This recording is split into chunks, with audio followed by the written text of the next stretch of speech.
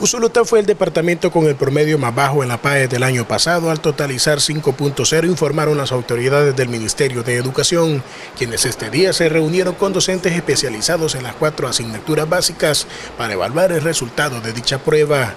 Primero un análisis exhaustivo eh, de justificación de, capacidades, habilidades, competencias de los estudiantes en base a los ítems, es decir, las respuestas en las pruebas diversas que se aplicaron. Pero este proceso de reflexiones sirve a los docentes para idear estrategias que permitan mejorar el rendimiento de los estudiantes y que se refleje en un mejor resultado en la PAE del presente año. Las disciplinas tienen su propio método, estrategia, técnica eh, en la que debería sustentarse la enseñanza. Eh, seguidamente se construye un plan para hacer el proceso de mejora, es decir, el refuerzo que va encaminado a desarrollar pues esas habilidades, esas capacidades que los estudiantes deben de mejorar a partir de, de la enseñanza de los maestros durante los, el año, diríamos. ¿va?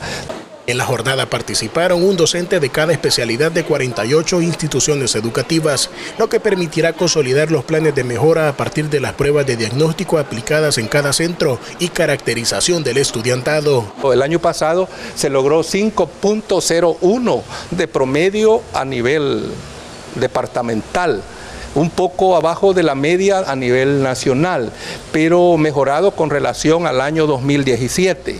La, otra parte es que las asignaturas, pues como sociales, eh, perfilaron eh, un, mejor nivel y matemática como un, el nivel más bajo.